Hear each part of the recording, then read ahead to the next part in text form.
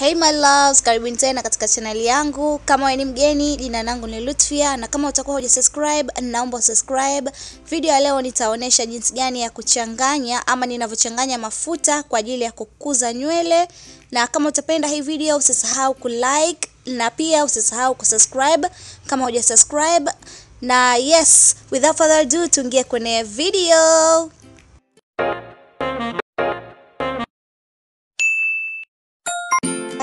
Mahitaji yote ambayo tutahitaji kwenye video na nitaonyesha vitu vyote ambavyo tutahitaji.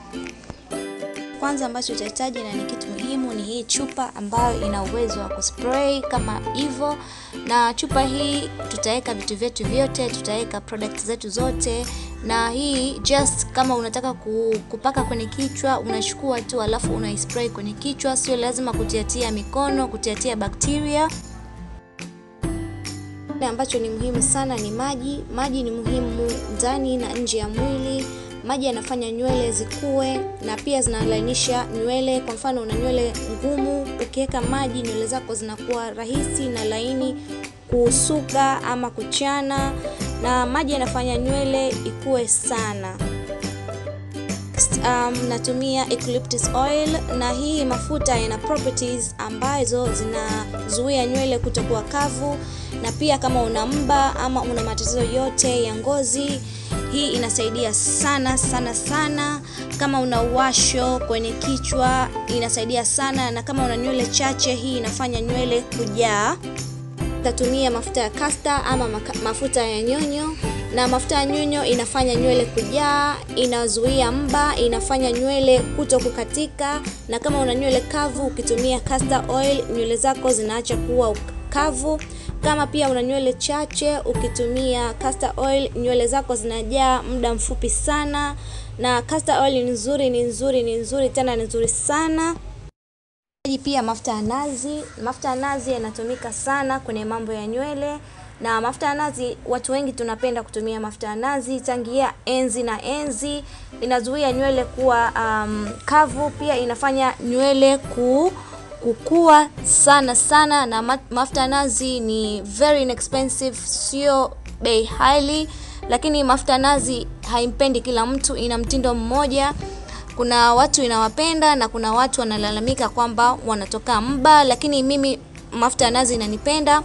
Kwa mfano wewe, mafuta ya nazi huwezi kutumia ama hayakupendi, unaweza ukatumia mafuta ya almond, na mafuta ya almond ama mafuta ya avocado ni mazuri pia. Next nitatumia leave-in conditioner. Unaweza ukatumia leave-in conditioner yoyote, na kwa mfano kama hauna leave-in conditioner ama haujui zinauzwa wapi, unaweza ukatumia juisi ya aloe vera aloe vera ukaitengeneza uka juisi alafu ukachanganya instead ya hii leave-in conditioner, na hii inafanya nywele kuto kukatika na ina, inatibu nywele ambazo zimekatika ama zina damage. Kwa mfano wewe unaweka nywele zako dawa alafu zimebadilika rangi, leave-in conditioner inasaidia sana sana sana na hapa naonesha leave-in conditioner nyingine, na leave-in conditioner hii ni kwa ajili ya watu ambao wanapenda kutumia heat ama umeme. Kwa mfano wewe unapenda labda kupasi nywele zako ama kutumia dryer.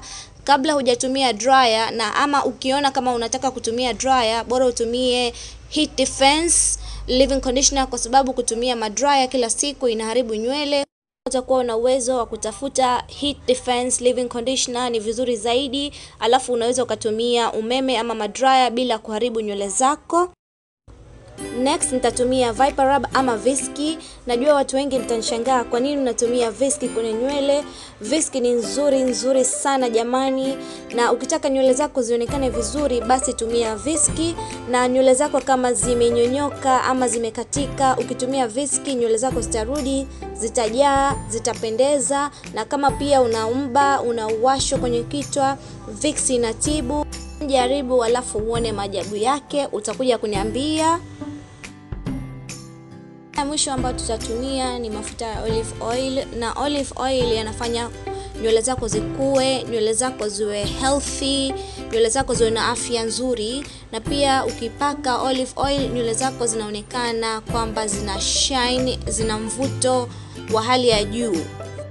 namna gani ya kuchanganya mchanganyiko. Kwa hiyo tutachukua spray bottle yetu, tutaifungua, tutaweka maji na mafuta yote ambayo tumeyataja awali na utachanganya vizuri, alafu utaipaka kwenye kichwa chako ama utaispray kwenye kichwa chako. Na hii mimi inakuwa sitengenezi nyingi, kwa sababu ni kitu ni mchanganyiko ambao unatakiwa uchanganye kila wiki. Unaweza ukakaa nao mwezi mmoja, lakini ni vizuri hasa ukatengeneza kila wiki. Na kama labda unajisikia kubadilisha mafuta, utaki kutumia mafuta ya nazi, unataka kutumia mafuta sijui mafuta gani, ama utaki kutumia viski, unataka kubadilisha, unaweza ukafanya hivyo. Kwa hiyo ni vizuri kuchanganya kila wiki, na jinsi ninavyopaka hii mchanganyiko, napaka Jumatatu, Jumanne sipaki, napaka Jumatano, Alhamisi sipaki, napaka Ijumaa, Jumamosi sipaki alafu Jumapili ni siku yangu ya kuosha nywele. Kwa hiyo nita repeat process hivyo hivyo, nita yani hivyo hivyo, itakuwa kama mzunguko, kila wiki nitafanya hivyo. Jumapili nita repeat kutengeneza mafuta yangu, alafu nitaendelea kupaka kama hivyo. Na ukiwa unaendelea kupaka hivi, nywele zako utaona mabadiliko makubwa, na nywele zako zitakuwa zenye afya nzuri. Asanteni kwa kuangalia hii video, na kama umependa hii video na bado hujasubscribe, naomba usubscribe ili usikose video ambazo nitaanza kuzipost. Bye guys, peace.